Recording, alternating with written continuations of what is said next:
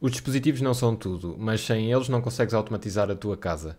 Está na hora de falarmos sobre eles e adicionarmos alguns exemplos à nossa instância de Home Assistant.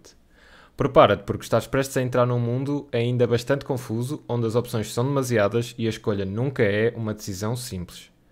Título deste episódio: Integrações e dispositivos.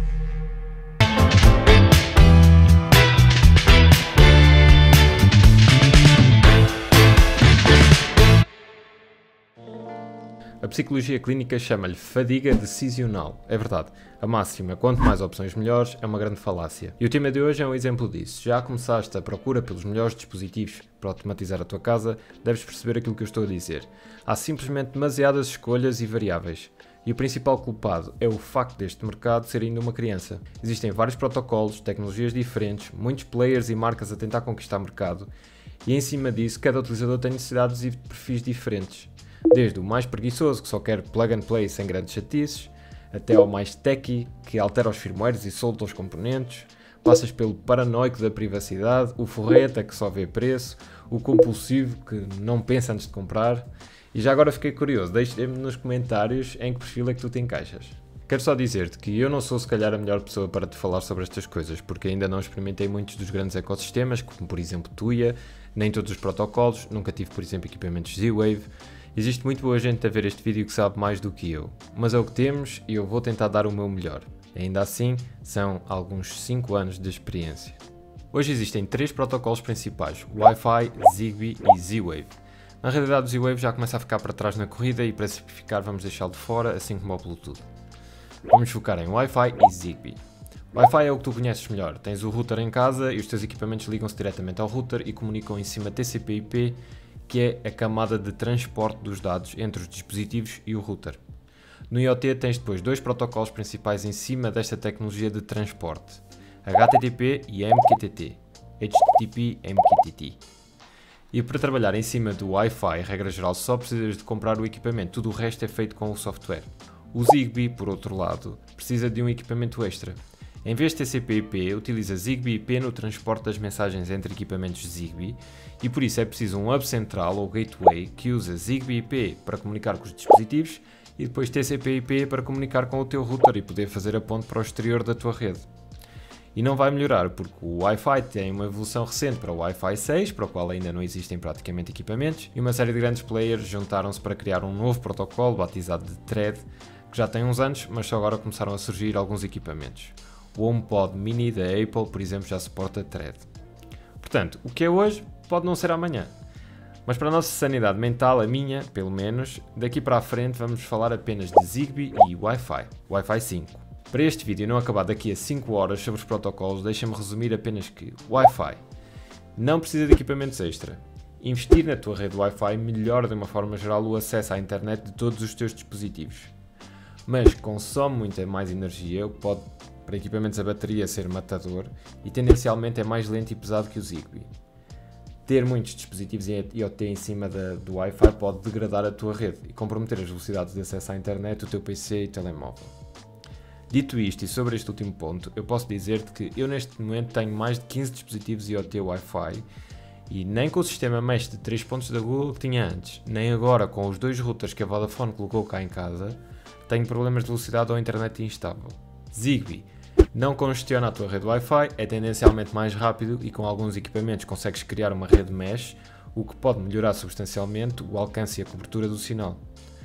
Consome muito pouca energia, uma pilha dá normalmente para anos de utilização, mas exige uma gateway e nem sempre os dispositivos de umas marcas são compatíveis com as gateways que tu já tens. Tens que manter duas redes em casa porque vais sempre precisar do Wi-Fi. Se estás a usar Home Assistant, uma das considerações que deves fazer na escolha dos equipamentos é se existem e qual a qualidade das integrações. As integrações funcionam como os add-ons que vimos no episódio anterior, mas os add-ons adicionam funcionalidades gerais de código e as integrações permitem adicionar os dispositivos de diferentes marcas. Há duas fontes, os oficiais e o Axe que têm as integrações desenvolvidas pela comunidade. Para te mostrar como podes adicionar dispositivos, vou utilizar alguns dos equipamentos de diferentes marcas que tenho parados cá por casa, só para te mostrar a dinâmica de integrações no Home Assistant. Não quer dizer que eu recomendo os equipamentos que vamos utilizar agora. Siga para a nossa instância, bora! Ok, mas antes de começarmos e irmos ao menu da integração, deixa-me só chamar-te a atenção para o seguinte. Todos os dispositivos ou entidades que tens configuradas no teu Home Assistant estão associados a uma integração. Mesmo aqueles que já vêm configurados por defeito na instalação base do Home Assistant, por exemplo. Todos os users com que tu fazes login no Home Assistant estão, estão debaixo de uma integração Person. Estas integrações, no fundo, são o código que permite depois interagir com as entidades ou com os dispositivos. Tu instalas novas para poderes adicionar dispositivos ou entidades de uma determinada marca e isso pode ser feito de duas formas, ou aqui na parte Integrations, fazes Add Integration cá em baixo, ou então no Axe que disponibiliza um, módulos de integrações desenvolvidos pela comunidade de entusiastas do Home Assistant. Não são oficialmente suportados pela equipa que faz o desenvolvimento do Home Assistant, mas regra geral são bastante seguros e têm qualidade. E este é um dos pontos fortes do Home Assistant, é ter uma comunidade muito grande de entusiastas que faz desenvolvimentos e rapidamente quando surge uma marca nova com equipamentos novos, aparece também uma integração que alguém fez e que permite adicionar esses produtos ao teu ecossistema. Naturalmente, depois aqueles de maior dimensão e começam a ser utilizados por mais utilizadores são adotados pela equipa que faz o desenvolvimento do Home Assistant e se tornam-se oficiais. Mas vamos normalmente ao menu Configuração Integrações para te mostrar o que é que estamos a ver aqui. Isto são tudo dispositivos inteligentes que eu tenho a correr na minha rede. E como o Home Assistant corre localmente debaixo do mesmo router que estes dispositivos e sabe que tem integrações para os controlar, sugere-te adicioná-los automaticamente e coloca-te-os aqui. Mas vamos então ver como adicionar, por exemplo, este equipamento da Shelly, que é um sensor de porta Wi-Fi que se liga diretamente ao router. Ele está aqui, é este, e estás pronto? É melhor se calhar ir buscar um caderno para anotar todas as instruções, porque é um processo extremamente difícil. Fazes configure, submit, ok, está feito. Acho que mais fácil era impossível. Tens aqui já uma integração Shelly, que podes ver tem um dispositivo configurado e esse dispositivo tem quatro entidades. Clicando no dispositivo, normalmente o próximo passo é dar-lhe um nome decente. Podes editar aqui e dizer, ok, isto aqui é o no meu Shelly sensor de porta. Ok? Fazes update e ele pergunta-te se queres refletir esta mudança de nome em todas as entidades que ele criou. Normalmente eu digo que sim e podes ver aqui as quatro entidades que ele tem. Portanto, tem a bateria deste sensor, porque ele é a bateria, tem o estado, está fechado ou aberto aqui, depois tem a luminosidade, porque ele tem também um sensor de luminosidade, e a temperatura, também tem um sensor de temperatura. Portanto, estas quatro entidades já estão disponíveis para eu mostrar no meu front-end ou então para utilizar com automações. Mas e se o dispositivo não for descoberto automaticamente e não estiver aqui? tens de passar por um processo, que é, vens à página de integrações do Home Assistant e pesquisas aqui pela marca do teu equipamento, vais ver se existe ou não uma integração oficial para o teu equipamento.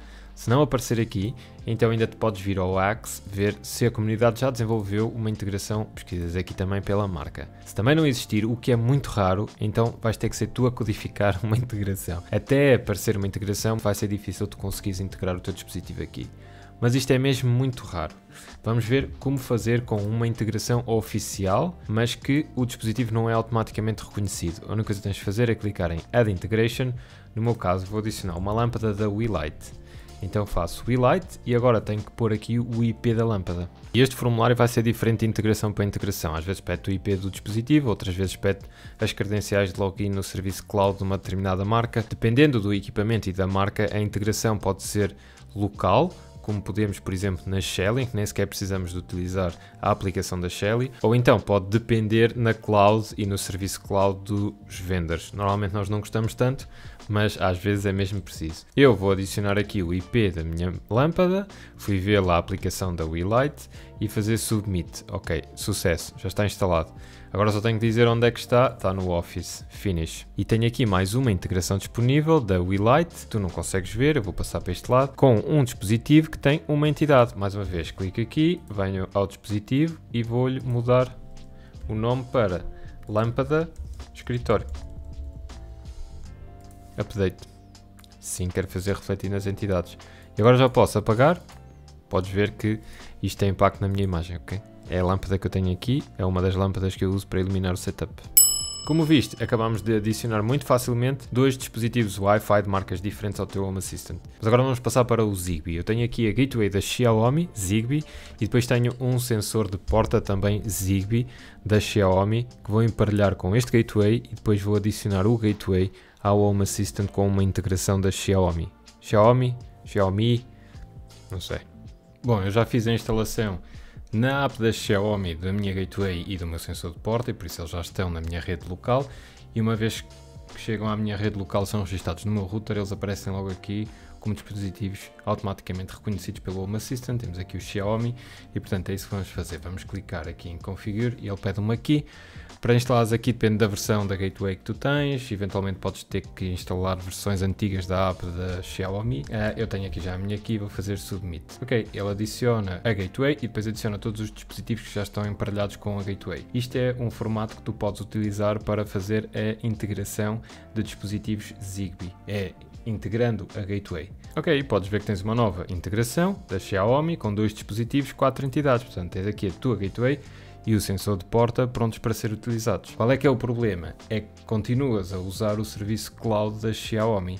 Portanto, continuas a depender de um serviço externo à tua rede para fazer a comunicação com os teus dispositivos. Por isso, o que a maior parte dos utilizadores costuma fazer é remove estas gateways das marcas e utilizam uma destas pens para ligar diretamente ao Home Assistant. Estas pens são Zigbee, são antenas que captam as mensagens que os dispositivos enviam e depois instalam o software que faz a interpretação de protocolo Zigbee e que permite assim controlar com o teu Home Assistant dispositivos Zigbee de múltiplas marcas. Desta forma, removemos a dependência da cloud das marcas e só com um investimento, o investimento numa destas pens, conseguimos garantir que estamos prontos a trabalhar com dispositivos Zigbee de múltiplas marcas. Pois é, comandante, tínhamos dias a falar sobre isto. Eu vou tentar não divagar muito mais, vou-te só dizer, esta é das pens mais utilizadas neste momento, a Conbi 2, uma pen Zigbee que está à venda na Amazon. O preço não é o mais convidativo, mas eu vou deixar o link na descrição para tu poderes ver. Depois em termos de integrações, existe a Decons, foi uma que eu utilizei já com esta pen e funciona bastante bem. Existe também a Zigbee Home Automation, que é desenvolvida pelos criadores do Home Assistant, se não estou em erro. Existe ainda uma terceira opção que tem até pens mais baratas, normalmente integra com estas pens que depois custam cerca de 15 euros. A Zigbee to MQTT, embora tenha uma curva de aprendizagem um bocadinho maior porque depois utiliza o protocolo MQTT, podes não estar habituado a ele e tens que instalá-lo como um add-on porque ele não está com uma integração nem no Axe nem no Home Assistant.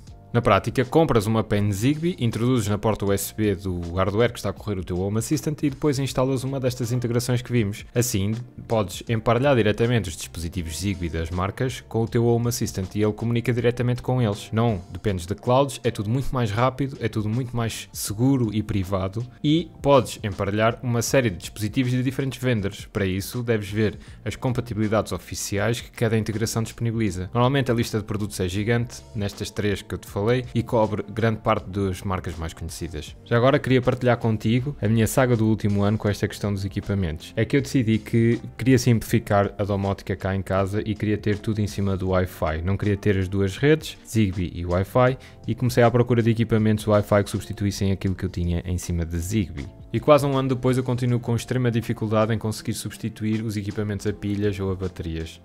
Eu espero que o Wi-Fi 6 traga melhorias significativas nesta área, mas para já no Wi-Fi 5 a maior parte dos dispositivos sofrem de um de dois males. Ou desligam o módulo Wi-Fi e depois têm que voltar a ligar quando querem reportar alguma alteração, o que os torna muito lentos e introduz delays que inviabilizam praticamente todas as automações com esses dispositivos. Ou então são extremamente rápidos porque estão sempre ligados ao router prontos a transmitir, mas as baterias vão num ápice e das duas uma, ou tu esgotas o teu orçamento mensal a comprar pilhas, ou então tens que estar sempre a carregar as baterias dos equipamentos. Confesso que estou bastante curioso para pôr as mãos no novo sensor de movimento da Shelly, que eles dizem que em parceria com a Silicon Labs desenvolveram um mecanismo que, sendo Wi-Fi, consegue o melhor dos dois mundos. É rápido e a bateria dura.